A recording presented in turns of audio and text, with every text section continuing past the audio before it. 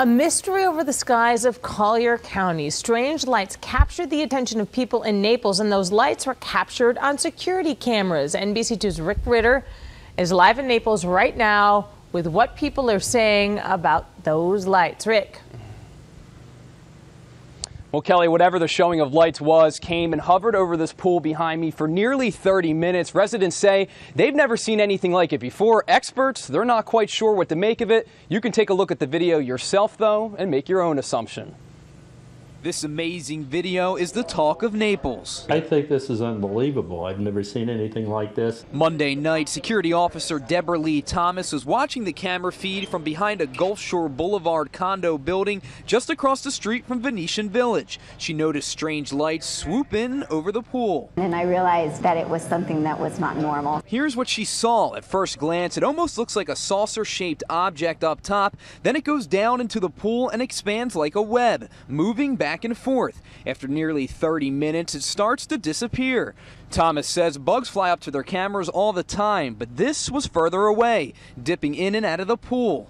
Was down on the ground, but some of that webbing was longer and had made a funnel down into the pool. We sent the video off to MUFON, an UFO organization in Ohio. They're analyzing it, but they don't think it's a hoax. That's what Thomas's co-workers thought at first until they saw it themselves. We watched it on the tape, and I, to be honest, I was so grateful that it was there so that I could say it was real, it really happened. On Wednesday, residents were walking in and out of the complex's office, checking out the must-see video. Oh, how cool. I've never seen anything like this. The, the electrical charges coming from it are just truly unbelievable. But what it is remains a mystery for now, something Thomas is okay with as long as it doesn't happen again. Now, we did show the video to a biologist at the Conservancy of Southwest Florida to see whether or not they thought it was an animal. They don't believe it's an animal. Meanwhile, officials at MUFON tell me this is one of the most fascinating videos they've seen in a while. Coincidentally, this pool is closed for the next few days for some cleaning. I don't think residents are going to be complaining about that. We're live in Naples tonight. Rick Ritter. Picked up a doily. It was just hanging there. She said it just kind of looked webby.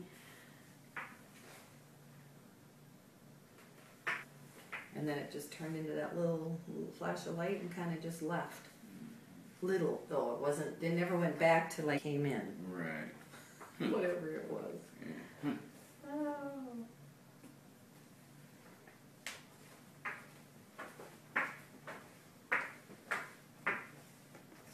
I got a, I got a two folder while I I got, cause I was gonna send this, give this to Kelly this weekend. Lynn's grandson's five, dying of mitochondrial disease. Hmm. Their family's losing everything trying to keep him alive, and I thought, you know what, it's been in the news, I'm gonna give it to you guys. Give it to Kelly, but I'll give it to you. Something I was gonna ask her to